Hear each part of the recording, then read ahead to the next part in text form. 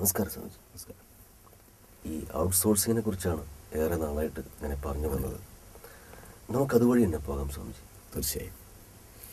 ഔട്ട്സോഴ്സിങ്ങിന്റെ നമ്മൾ അവസാനമായി പറഞ്ഞു നിർത്തിയത് രാഷ്ട്രീയത്തിലെ ഔട്ട്സോഴ്സിങ് ഇന്ത്യൻ കക്ഷി രാഷ്ട്രീയത്തിൽ വന്ന ശക്തമായൊരു ഔട്ട്സോഴ്സിങ് തലം നമ്മൾ ചൂണ്ടിക്കാണിക്കേണ്ടത് അതെ. അതിനുശേഷം വിദ്യാഭ്യാസത്തിലേക്ക് നമ്മൾ അല്പം വിരൽ ചൂണ്ടുക അതെ അപ്പോഴാണ് നമ്മൾ നിർത്തിയത്. നിർത്തിയത്. വിദ്യാഭ്യാസത്തിലേക്ക് വിരൽ ചൂണ്ടുന്നതിന്റെ ഭാഗമായി നമ്മളെ സംബന്ധിച്ചിടത്തോളം ഇന്ന് നമ്മുടെ സംസ്കാരം ഒരു സംസ്കാരം എന്ന് പറയുന്നത് ഒരു പ്രവാഹ നിത്യതയിലൂടെ അനന്തമായ കാലപ്രവാഹത്തിൽ രൂപാന്തരപ്പെട്ടു വരുന്ന അവയെക്കുറിച്ചൊക്കെ വ്യക്തമായ ധാരണ ആദ്യമായി ജനതയ്ക്ക് ഉണ്ടാവേണ്ടതാണ്. ഒരു പ്രവാഹ നിത്യതയാണ് ജീവിതം എന്ന് പറയുന്നത്. അപ്പോൾ അച്ഛൻ എവിടം വരെയാണോ കാര്യങ്ങൾ ചെയ്തു വെച്ചത്. അതിന്റെ തുടർച്ച കൊണ്ടുപോകാനാണ് മകൻ വരുന്നത്. സ്വർണം വെള്ളി ചെമ്പ് മുതലായവയൊക്കെ നമ്മൾ സമ്പാദിക്കാറുണ്ട്. അത് പ്രാപ്തം എന്ന് പറയും അവയെ. അപ്രാപ്തമായിരിക്കുന്ന ഒരു വസ്തു പ്രാപ്തമാകുന്നത് രണ്ട് രീതിയിലാണ്. ഒന്ന് യഥാർത്ഥത്തിലുള്ള മൗലികമായ പ്രാപ്തം. രണ്ട് മൗലികമല്ലാത്ത പ്രാപ്തം. മൗലികമായതും മൗലികമല്ലാത്തതും തിരിച്ചറിയുന്നത് ഇന്ന് നമ്മളൊരു സ്വത്ത് വാങ്ങിച്ചാൽ അത് കുറച്ചു കാലം നമ്മുടെ കയ്യിലിരുന്ന് പിന്നെ വേറൊരാളുടെ കയ്യിലായി പോകും ഒരു പുത്രൻ എന്ന് പറയുന്നത് ഒരിക്കലും നമ്മളുടെ പുത്രൻ എന്നത് മറ്റൊരാളുടെ പുത്രനാവില്ല. അതിന്റെ ആ മനസ്സിലായി മനസ്സിലായി. പക്ഷെ നമുക്ക് ഈ അച്ഛനും മകനും എന്ന് പറയുമ്പോൾ നമ്മുടെ ഈ ഒരു വർത്തമാന കാലത്തുള്ള ഒരു വിലയിരുത്തൽ രണ്ടും രണ്ട് തലമുറയാണ്. അപ്പോൾ ഈ ചെറിയ പുതിയ തലമുറയുടെ കാര്യങ്ങൾ മറ്റു തലമുറയ്ക്ക് അറിയില്ല എന്ന് പറയുന്നത് രണ്ടും രണ്ടാണ് അതിന്റെ ഒരു തുടർച്ചയല്ല എന്നുള്ള രീതിയിൽ തന്നെയാണ് പറയുന്നത് എന്നുള്ള അങ്ങനെ പറയേണ്ടി വരുന്നത് വിദ്യാഭ്യാസം എന്ന ഒരു ഔട്ട്സോഴ്സിങ്ങും വിദ്യാഭ്യാസത്തിനകത്ത് മൗലികമായി വരുന്ന ഒരു ബാഹ്യ ശക്തിയും കൊണ്ട് ഇവരെ ശത്രുക്കളാക്കിയിരിക്കുന്നു. ഭരണാധികാരികൾക്ക് തെറ്റുകൾ ചെയ്യുവാൻ എളുപ്പവഴി ബന്ധങ്ങളെ തകർക്കുകയാണ് ഇത് പാശ്ചാത്യ കച്ചവട സംസ്കൃതിയുടെ മൗലിക ചോദനയാണ്. എവിടെയൊക്കെയാണോ പൗരോഹിത്യവും മതവും മതപരങ്ങളായ വ്യാവസായികതയും വളരുന്നത്. അവിടെയൊക്കെ പ്രകൃത്യാ ഉള്ള മൗലികമായ പ്രാപ്തവും മൗലികതയുള്ള സംസ്കാരവും താറുമാറും. അതാ സംഭവിച്ചില്ല അതാണ് സംഭവിച്ചു കൊണ്ടിരിക്കുന്നത്. നിങ്ങളുടെ ഒരു മകൻ നിങ്ങൾ ചെയ്തു വെച്ച കർമ്മങ്ങളുടെ തുടർച്ചയ്ക്ക് ജനിച്ചതാണ് പ്രകൃതിയുള്ള സംഭവം അതാണ്. മനസ്സിലായി സ്വാമിജി. പക്ഷെ നമുക്കത് പെട്ടെന്ന് അത് സ്വീകരിക്കാൻ പറ്റാത്ത മാതിരി അത്രയും ബ്ലോക്കഡായി പോയി നമ്മുടെ ഒരു അത് വിദ്യാഭ്യാസം കൊണ്ടും ബാഹ്യശക്തികളുടെ ഇടപെടൽ കൊണ്ടുമാണ് നിങ്ങളെ ഏത് സങ്കല്പങ്ങളോടുകൂടി ഇരിക്കുമ്പോഴാണോ നിങ്ങളിൽ രസം രക്തം മാംസം മേധസ് അസ്ഥി മജ്ജ ശുക്രം എന്ന് ക്രമമായി പചിച്ച് പരിണമിച്ച് ഒരു ബീജമുണ്ടാകുന്നത്. ആ ബീജം നിങ്ങളെ സ്നേഹിക്കുന്നതും നിങ്ങൾ സ്നേഹിക്കുന്നതും സമാജം നിങ്ങൾക്കായി കരുതി വെച്ചതും ആയിരിക്കുന്ന ഒരു സ്ത്രീയിൽ നിങ്ങൾ നിക്ഷേപിക്കുമ്പോൾ ആ ബീജത്തിലാണ് നാളെ നിങ്ങളുടെയും അവളുടെയും ചേർച്ചയിലൂടെ രൂപാന്തരപ്പെട്ട കർമ്മങ്ങളുടെ അനുസ്യൂതതയെ മുഴുവൻ കൊണ്ടുവരുവാനുള്ള ശക്തവും സുദൃഢവും പ്രവാഹനിത്യതയെ കൊണ്ടുപോകാവുന്നതുമായ ഒരു വലിയ വൃക്ഷം എന്ന പോലെ ബീജത്തിൽ വൃക്ഷം എന്ന പോലെ നിങ്ങളുടെ ബീജ ബീജത്തിൽ നിന്ന് നിങ്ങളെ സൃഷ്ടിച്ചെടുക്കുന്നത്. അതിന് പ്രാചീന സംസ്കൃതി അതിനെക്കുറിച്ച് പറയുന്നത് തന്നെ ആത്മാവൈ പുത്രനാമാസി എന്നാണ്. പിതാവ് പുത്രനായി പുനർജനിക്കുന്നു എന്നാണ്. ജീവിതത്തിലെ ഏറ്റവും വലിയ ഭയം മരണമാണ്. ഞാനാണ് അവനിലിരിക്കുന്നത് എന്ന് വ്യക്തമായ ഒരു അവബോധം ആരോഗ്യത്തിൽ ഏറ്റവും വലിയ കാര്യമാണ്. ഇന്ന് ഏതൊരു പിതാവും മകന്റെ ശത്രുവാണ്. മകന്റെ ശത്രുവാണ്. ഏതൊരു പുത്രനും പിതാവിന്റെ ശത്രുവാണ്. പരസ്പരം പറഞ്ഞാൽ മനസ്സിലാവില്ല. കുടുംബ ബന്ധങ്ങൾ തകരുമ്പോൾ അവിവാഹിതരായി ജീവിക്കുവാൻ വ്യക്തികൾ കൂടുതൽ ഇഷ്ടപ്പെടുന്നു. അതെ. അതെല്ലാം സന്യാസവും ആധ്യാത്മികതയുമാണെന്ന് സമാജം തെറ്റിദ്ധരിക്കുന്നു.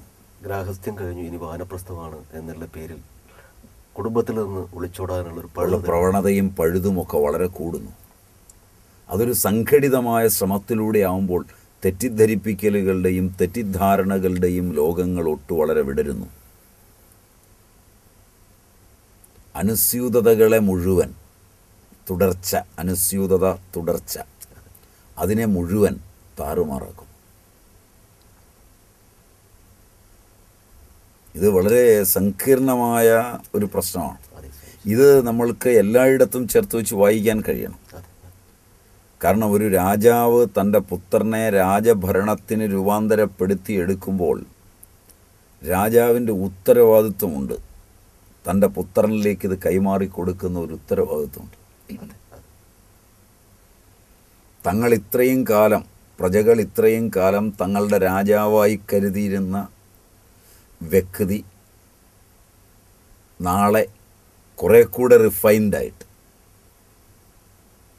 രാജാവ് കുറേ കൂടെ പരിണമിച്ച് റിഫൈൻഡായി രാജ ഐശ്വര്യങ്ങളിൽ മതിമറന്ന് ആഹ്ലാദിക്കാതെ ജനങ്ങളുടെ ആവശ്യങ്ങളെയും കർമ്മങ്ങളെയും കണ്ടറിഞ്ഞ് സ്വന്തം കർത്തവ്യ കർമ്മങ്ങളെ നന്നായി മനസ്സിലാക്കിയ ഒരു രാജാവിൽ നിന്ന് തന്നെ ആ ജനഹൃദയത്തിന്റെ ആശയാഭിലാഷങ്ങൾ മുഴുവൻ ഉൾക്കൊള്ളുന്ന ഒരു സംസ്കൃതി രൂപാന്തരപ്പെട്ട് ജനിച്ച ഒരു പുത്രനാണ്. ആ ജനങ്ങളെല്ലാം ആഗ്രഹിക്കുമാർ അധികാരം കൈമാറി കൊടുക്കുമ്പോൾ അതൊരു ആഘോഷത്തിന്റെയും പ്രതീക്ഷയുടെയും നന്മയുടെയും ഒക്കെ രംഗവേദിയായി മാറുകയും അച്ഛൻ ചെയ്തു വെച്ചതിന്റെ അനുസ്യൂതതയുമായി മകൻ നീങ്ങുമ്പോൾ അത് ഐശ്വര്യമായി തീരുകയും ചെയ്യുമ്പോൾ കലയും സാഹിത്യവും വിദ്യാഭ്യാസവും തൊഴിൽപരമായ നന്മകളുമെല്ലാം രാജ്യത്തൊരനുസ്യൂതതയിലൂടെ പോവുകയും ചെയ്യുന്നു. വർത്തമാന സാഹചര്യത്തിൽ സ്വാമിജിയുടെ ഈ ഒരു ഈ ഒരു വിശദീകരണത്തിന് വളരെ പ്രാധാന്യമുണ്ടെന്ന് തോന്നുന്നു. മറിച്ച് അഞ്ചു കൊല്ലത്തേക്ക് ആരോ ഒരുത്തനെ കയറ്റിവെക്കുന്നു. ആരോടും പ്രതിബദ്ധതയില്ലാത്ത. ഏതൊക്കെയോ മതങ്ങളുടെ സംസ്കൃതികളില്ല. ഏതൊക്കെയോ ജാതീയമായ ഉച്ചനീചത്വങ്ങളും വിശ്വാസങ്ങളും നിറഞ്ഞ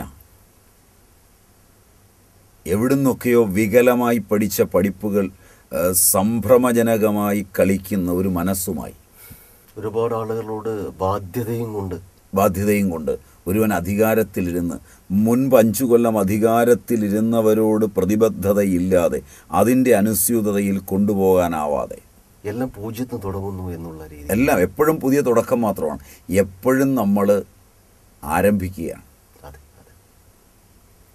നിലനിർത്തുകയല്ല. അത് കണ്ടെത്താതിരിക്കുന്നതാണ് ആ ആരംഭത്തിൽ മാത്രമാണ് നിൽക്കുന്നത്.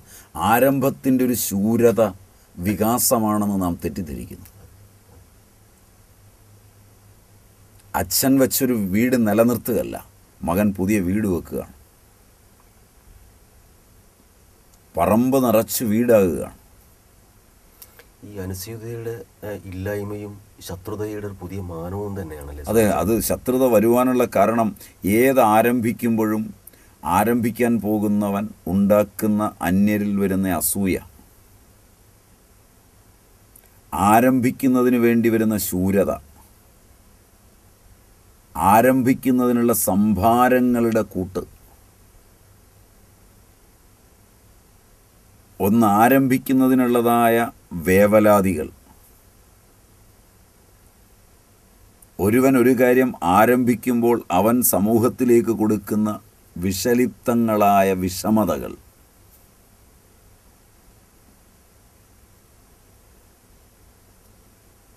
ആരംഭം മാത്രം പഠിപ്പിക്കുകയും ആരംഭ പരിത്യാഗികളെ കൊണ്ട് നിറയ്ക്കുകയും. എന്തു ആരംഭിക്കുക? പരിത്യജിക്കുക. പൂർണത എന്നൊന്ന് സങ്കല്പത്തിലില്ലാത്ത ഒരു സമൂഹത്തിന്റെ വൈതാളികത്വമാണ് ആധുനിക ജീവിതം. ഓരോന്നും ആരംഭിക്കുന്നത് ഓരോ തരം അഡ്ജസ്റ്റ്മെന്റിനാണ്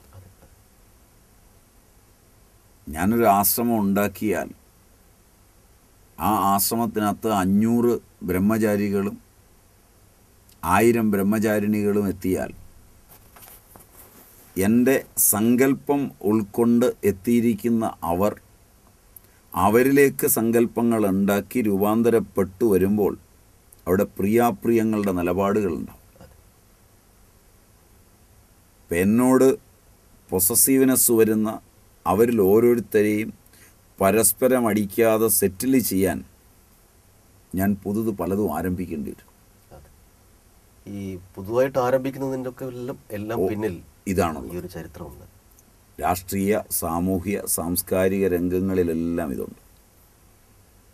അതിൽ ഓരോന്നിലും കഴിവുള്ളവൻ വന്നിട്ട് അവന്റെ കഴിവിനനുസരിച്ചല്ല ആരംഭിക്കുന്നത്. ഒഴിവാക്കലിന് വേണ്ടി ആരംഭിച്ചിട്ടുള്ളവയാണ് ഇവയിലെല്ലാം. അത് ആരംഭിക്കുമ്പോൾ തന്നെ കുറിക്കപ്പെട്ടതാണ്. അതെ. ഒഴിവാക്കാൻ ആരംഭിക്കുമ്പോൾ അതിന്റെ തത്വശാസ്ത്രം ഒഴിവാക്കലാണ്. ഞാൻ ഉത്തരകാശിയിലൊരു സ്ഥാപനം ആരംഭിക്കുന്നത്. ഒരാശ്രമം ഞാൻ ഹൈദരാബാദിൽ തുടങ്ങുന്നത്.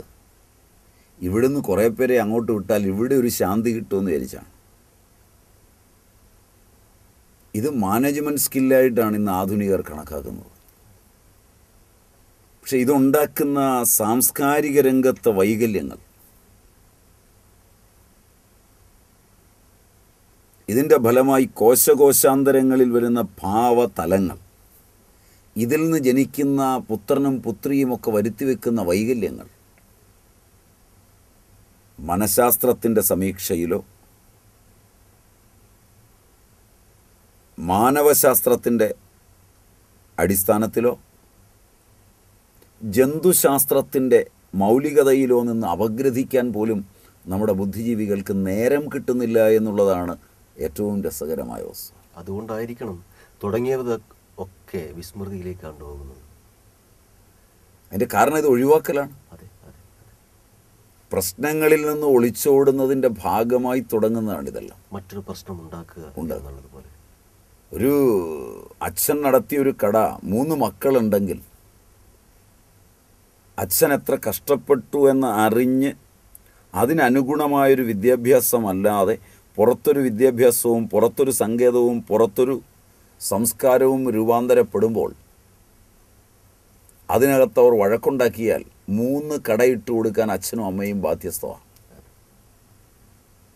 കാരണം മത്സരിച്ചാണ് വളർത്തിക്കൊണ്ടുവന്നിരിക്കുന്നത്. മത്സരമാണ് വികാസമെന്നും മത്സരമാണ് വളർച്ചയെന്നും സ്നേഹം തെറ്റാണെന്നും പാരസ്പര്യങ്ങൾ വൈകല്യമാണെന്നും ഒക്കെ പഠിപ്പിച്ച് മത്സരത്തിലൂന്നി വളർത്തി മത്സരിച്ച് മുന്നേറുവാൻ തയ്യാറാകുമ്പോൾ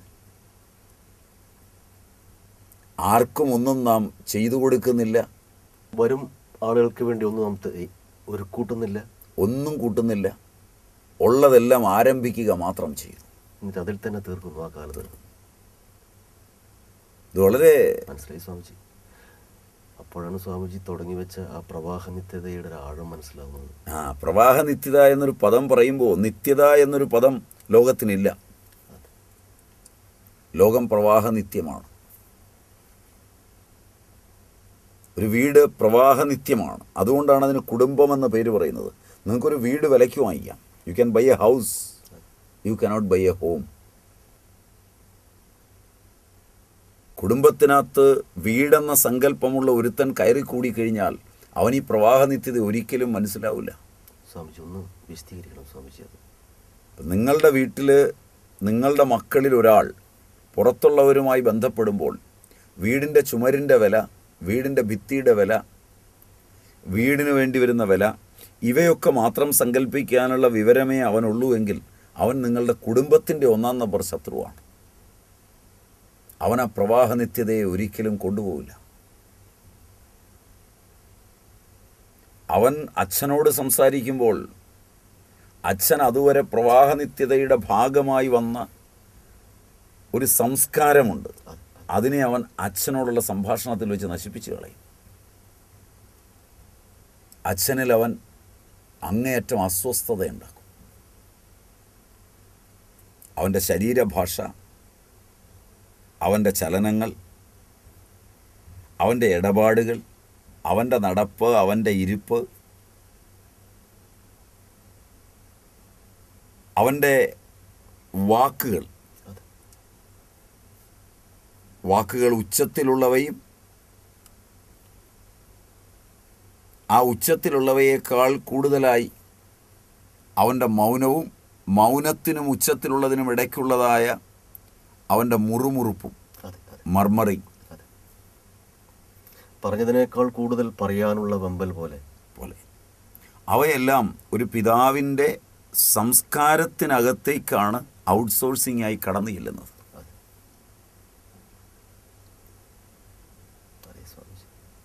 അവൻ അത് കഴിഞ്ഞ് അമ്മയോട് സംസാരിക്കുന്നതിലൂടെ അതുവരെ അച്ഛനോ അമ്മയോ സങ്കല്പിക്കാത്ത വിധം അച്ഛനെയും അമ്മയെയും ശത്രുവാക്കി മാറ്റാൻ അവന് വളരെ എളുപ്പം കഴിയും. പ്രവാഹനിത്യതയെ തകർത്തെറിഞ്ഞ് കുടുംബ പാരസ്പര്യങ്ങളെ ഇല്ലാതാക്കി സംസ്കൃതിയെ ചവിട്ടിത്തേച്ച് ലോകരുടെ മുമ്പിൽ സ്വയം കേമനായി അറിയുകയും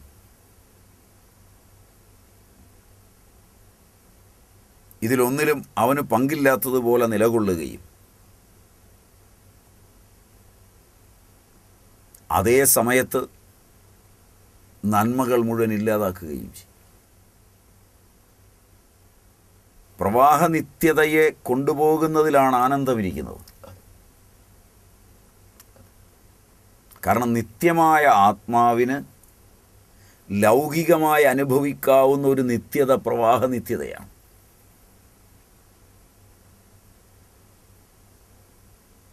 കോശങ്ങൾ പ്രവാഹനിത്യത കൊണ്ടാണ് ആശയങ്ങളെ കൈമാറുന്നത്. അവയവങ്ങൾ പ്രവാഹനിത്യതയിലാണ് നിലനിൽക്കുന്നത്. പ്രവാഹനിത്യതയെയും നിത്യതയെയും തിരിച്ചറിയുകയും അതിന്റെ പാരസ്പര്യം അറിയുകയും ചെയ്യുന്നതാണ് ജ്ഞാനത്തിന്റെ വഴി. തീർച്ചയായും. ഞാൻ ഒന്ന് തിരിച്ച് ഇങ്ങോട്ട് വന്നോട്ടെ സ്വാമിജി. നേരത്തെ സ്വാമിജി പറഞ്ഞു ഈ ഈ പ്രവാഹം നിത്യതയോടെ നാം പറഞ്ഞു പോയപ്പോൾ ഇടയിൽ ഈ ഒരു മകൻ അച്ഛനും അമ്മയെയും ശത്രുക്കളായി വേർതിരിക്കും എന്നുള്ളൊരു സൂചന തന്നു. അത് ഒന്നായി തീരുക എന്ന് പറയുന്നൊരു പ്രവാഹ നിത്യതയുടെ ഒരു വഴിയല്ലേ ഇത്? ഈ രണ്ടായി തീരുക എന്ന് പറയുന്നത് നേരെ വിരുദ്ധവും. വിരുദ്ധവും. അപ്പോൾ ആ ആ ഒരു ഏരിയയെക്കുറിച്ച് ഒന്നും കൂടി ഒന്ന് തീർച്ചയായും. അത് വളരെ പ്രധാനപ്പെട്ടതാണ്. ഒരു വീട്ടിൽ തന്റെ ഭാഗമായ കുഞ്ഞിനെ മറ്റൊരാളിന്റെ അടുക്കൽ അവന്റെ ബാല്യമോ കൗമാരമോ ഒക്കെ വിടുമ്പോൾ ഈ പ്രവാഹ നിത്യതയെ ബോധമുള്ളവനല്ല അച്ഛനും അമ്മയുമെങ്കിൽ വളരെ അപകടകരമാണ്. പ്രകടമായി പറഞ്ഞാൽ തന്റെ ജനിതക ഭാഷയും തന്റെ ജനിതക സ്മൃതികളും തന്റെ ജനിതക സീമയ്ക്കുള്ളിൽ ആനന്ദം തന്ന ആചാര വിചാരങ്ങളും ബലി കഴിച്ചുകൊണ്ട് ഏതോ നേട്ടങ്ങൾ നേടുവാൻ വേണ്ടി തനിക്കുള്ള തന്റെ കുഞ്ഞിനോടും അവന്റെ വളർച്ചയോടും തന്റെ സംസ്കാരത്തോടും താൻ ആട്ടിത്തെളിച്ചു കൊണ്ടുവന്ന പാരമ്പര്യപ്രസിദ്ധമായ കാര്യങ്ങളോടും ബന്ധം ഇല്ലാത്ത പുറത്തൊരുവനിൽ തന്റെ സൗഭാഗ്യങ്ങളെ കാണിച്ചെടുക്കുന്നു എന്നുള്ളതാണ് സാങ്കേതിക വിദ്യാഭ്യാസത്തിന്റെ ഇന്നത്തെ ഏറ്റവും വലിയ വിലക്ഷണത. നിങ്ങൾ നിങ്ങളുടെ കുട്ടിയെ അവന്റെ ബാല്യത്തിൽ ഒരായയെ ഏൽപ്പിക്കുന്നു. അവൻ നിങ്ങളിൽ നിന്നുണ്ടായി. നിങ്ങൾ സങ്കല്പിക്കുന്നു അവൻ ഇന്ന പോലെ വളരണമെന്ന്. നിങ്ങളുടെ ഭാര്യ അവന്റെ അമ്മയാണ്. അവരാഗ്രഹിക്കുന്നു അവന്റെ നാശമില്ലാത്ത നന്മകളുടെയും വളർച്ചയുടെയും ലോകം. നിങ്ങൾ രണ്ടുപേരുടെ ചേർച്ചയിൽ നിന്നുണ്ടായ ഒരു കുഞ്ഞിനെ ഒരു ബാഹ്യ ശക്തിയെ ഏൽപ്പിക്കുമ്പോൾ ഒരു ഔട്ട്സോഴ്സിംഗ് ആണത്. ആ ഔട്ട്സോഴ്സിങ്ങിൽ വെച്ചാണ് പ്രവാഹനിത്യത തകർക്കുന്ന അവന്റെ മൗലിക വിദ്യാഭ്യാസത്തെ അടിച്ചുടയ്ക്കുന്ന ആദ്യത്തെ സംഭ്രമജനകമായ മുന്നേറ്റം നടക്കുന്നത്. ഇത് വളരെ ശക്തമാണ്. ഇത് മനഃശാസ്ത്രപരമായി കണ്ടെത്തിയ ഋഷിമാർ രൂപപ്പെടുത്തിയ സമ്പ്രദായങ്ങളെ മുഴുവൻ അശാസ്ത്രീയമെന്നും അന്ധവിശ്വാസമെന്നും പറഞ്ഞാണ് പൗരോഹിത്യത്തിന്റെയും കലാശാലകളുടെയും വിദ്യാഭ്യാസ സംസ്കൃതിയിലൂടെ മാനവചേതനയെ തകർത്തെറിയുന്ന ഇന്നത്തെ സമ്പ്രദായങ്ങൾ കൊട്ടും ഘോഷവും കൊരവയുമായി രംഗപ്രവേശം ചെയ്തു.